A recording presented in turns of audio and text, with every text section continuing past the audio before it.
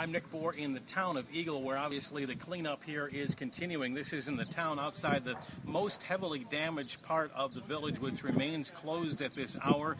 They expect to allow people back into their homes to at least try to start the cleanup later this afternoon, but right now there's still some risks, they say, of uh, electrical lines that are down, that type of thing, and so people are being kept out. Obviously, here the cleanup the outskirts. At last count, there were at least 100 homes damaged substantially by this storm, some 25 of them destroyed. Those numbers could still change. And again, the cleanup is continuing throughout the day and probably will be for weeks to come here in Eagle.